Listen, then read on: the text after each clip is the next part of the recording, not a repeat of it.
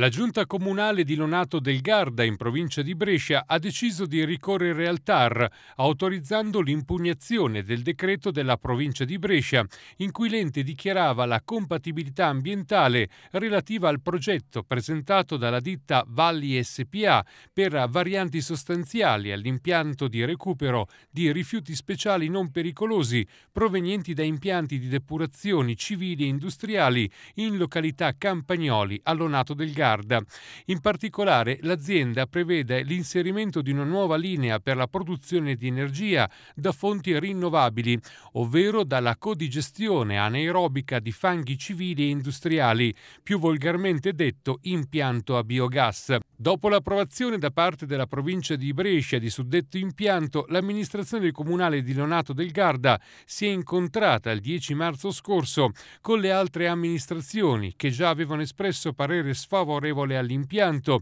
ovvero i comuni di Bedizzole, Calcinato, Desenzano, Castiglione e Padenghe, che hanno mostrato preoccupazione per il futuro dei loro territori. Nonostante i primi sei comuni si fossero dichiarati contrari e avessero chiesto un nuovo approfondimento sanitario da parte dell'ASL e una nuova analisi da parte dell'ARPA, la provincia ha rilasciato comunque la valutazione di impatto ambientale, giudicando sufficienti le modifiche al progetto presentate dalla stessa azienda e predisposto l'iter per l'autorizzazione integrata ambientale. Ora però l'amministrazione comunale di Nonato del Garda, pur non avendo alcun pregiudizio nei confronti dell'azienda, ma fortemente preoccupata per le ricadute ambientali, salutari e socio-economiche dell'impianto a biogas, ha deciso di ricorrere al Tribunale, affidando l'incarico ad uno studio legale esperto in materie ambientali.